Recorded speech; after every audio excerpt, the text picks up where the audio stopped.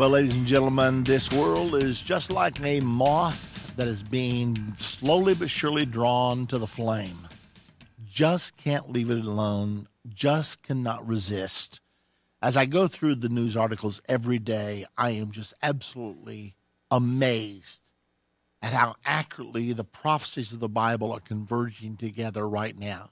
You read one article after another, after another, after another, and they all fit into the plan once you understand what the plan is. The plan is revealed in the prophecies of the Bible. We're told everything pretty much that's going to happen between now and the second coming of Jesus Christ, which is very close right now. And that's the reason that I highly recommend to you that you go through our Understanding the End Time series. It's a 14 DVD series. The name of it is Understanding the End Time. Many people say you can't understand Bible prophecy. But I've had so many people tell me after they go through these 14 DVDs, I understood it. I'm amazed at what I'm now understanding. So, but the point is simply this you and I are living in the most prolific time of prophetic fulfillment in the history of the entire world. Not an exaggeration. I'm serious. Right now, today, we are living in the time when all the prophecies are converging together. I'll never forget when I was planning on starting End Time magazine back in what was it, 1990 was about when I was talking to a friend of mine. Uh, this friend is a brilliant person, but he said to me, uh, "You're starting a prophecy magazine?" I said, "Yes." He said, "What are you going to put in it?" After three issues, you're going to be done. Everything's going to be exhausted. Well, I knew he simply had no comprehension at all uh, well, he would have really raised his eyebrows if we would have told him not only were we going to produce a magazine every other month, but we're going to be on radio and television every single day. He would have been astounded at that. What in the world were you talking about?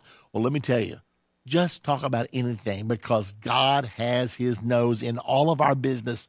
God is moving in the affairs of men. Whether you want to talk about the move toward one world government, toward globalization, whether you want to talk about the move toward a uh, homosexual sodomite generation, whether you want to talk about uh, the developments in the Middle East, the rebirth of the Holy Roman Empire, uh, the move toward the computerization of all of society, do you realize that the Bible prophesies all of those things and a whole lot more?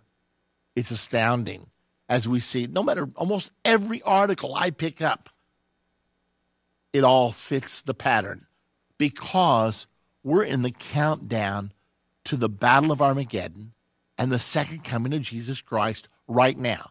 Now, if you don't believe that, it's because you just don't know. You haven't been informed. And that's the reason I do recommend to you our series it's called Understand the End Time. If you're interested in it, the number to call is 1 800 End Time. Our operators are standing by right now. Now, I want to go to uh, an article that just came out. Uh, this comes from DEBKAfile, and it was published, well, actually, just yesterday. And the title of the article is U.S. and Iran's First Joint Military Venture Fighting Al Qaeda in Iraq. I looked at that and said, wait a minute. The U.S. and Iran are in a joint military venture? How could this be? I thought we were getting ready to bomb Iran to kingdom come. And all of a sudden you're saying that we're, our shoulders are side by side against a common enemy? I mean, Iran's got all these troops in Syria, and we wanted to wipe Bashar al Assad off the map. We were going to go in there and we took uh, missiles, Patriot missiles, uh, down to Turkey and aimed them toward uh, Bashar al Assad. And uh, we uh, also established a presence in Jordan and took troops up there. And all of a sudden, we're fighting side by side. I mean, when I saw this, I almost laughed. I don't know how many of you have read the book 1984 by George Orwell. But in 1984, he painted a scenario where uh, people were fighting against one enemy one day, and then the news came on the next day, and they're now that's now their friend, and they're fighting against this other enemy. And it was like the people were so conditioned to blindly follow the political leadership that whatever happened, they just went with it. And everybody was so afraid to resist and to disagree. Uh, and when I read this today, I thought, oh my goodness, uh, George Orwell was right on the money. And he wrote that book in 1948. Can you believe it? The name of the book was 1984. Now, he missed his timeline just a little bit, but not by too much. Uh, if you've never read the book 1984, I would highly, highly, highly recommend it to you. Now, when I read it the first time, it sounded so unbelievable that this could ever come to pass. But if you read it now, you'll think, oh, everything's been like this ever since 1948 when George Orwell wrote the book. It was nothing like this back in those days. But somehow he had insight into what was coming. Uh, if you've not read 1984, I would recommend it to you right now. It may help you understand what's going on. So, what is going on? I mean, here we are, uh, supposedly on the brink of nuclear war with Iran. The tensions are mounting. And then we look up and we're fighting shoulder to shoulder with Iran. Really? Against whom? Against Al Qaeda. You mean the people that we fought alongside of in 2011 against Muammar Gaddafi in Libya? What? What's going on here? I mean, I found myself saying, who's on first? What's on second? Uh, you know, you don't know whether you're pitching or catching these days. We don't know who the friend is, and we don't know who the enemy is. And sometimes you even begin to wonder if that's not exactly what they intend to create. So, wow. Anyway, uh, well, let me just give you a little bit more of the story because you do need to know. With the Geneva Nuclear Accord still far from implementation, a month after it was signed in Geneva, the United States and Iran are moving into stage two of their their uh, rapprochement. They are now fighting together to crush Al Qaeda terror in Iraq. Exclusive military sources report. Iraq is two weeks into a major offensive for cutting Al Qaeda down, the first major military challenge the jihadists have faced in the past six years. Three armies are fighting alongside Iraq the United States, Iran's Al Quds brigades, officers, and Syria. So here we are. We're fighting with Syria? I thought we were against Syria. We're fighting with Iran. I thought we were against Iran. We're fighting with Iraq. I thought we were against Iraq. Oh, brother. Wearing my brain out. What in the world is going on here? Okay. Now, the mission is to foil Al Qaeda's drive to spread its first independent state in the Middle East across Iraqi Syrian frontier. Its Iraqi and Syrian branches, ISIS and the Nusra Front, have declared a holy war to this end under their commanders Abu Bakr al Baghdadi and Abu Muhammad al Golani. The Anbar province of western Iraq is the scene of the fiercest combat close to Iraq's borders with Syria and with Jordan. Now, in order to counter Al Qaeda's superiority in speed and surprise, the U.S. has sent the Iraqi army Hellfire service to air missiles. We've sent these to Iraq to help them in their fight against Al Qaeda. They are already in use against Al Qaeda's camps on the Syrian border. Next, Washington is sending out small, long endurance, unmanned aerial Anbars deep wadi. Uh, most, let me, I, I skipped one.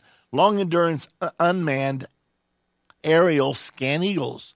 These drones are best suited to combat in Anbar's deep wadis and the halophyte thickets lining the Euphrates River.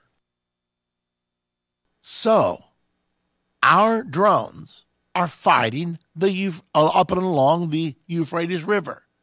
Now, here's what Russia says about all this. Russian Foreign Minister Sergei Lavrov noted approvingly on December the 26th Attitudes are changing in Western countries. They are becoming more realistic in their approach toward the Syrian crisis.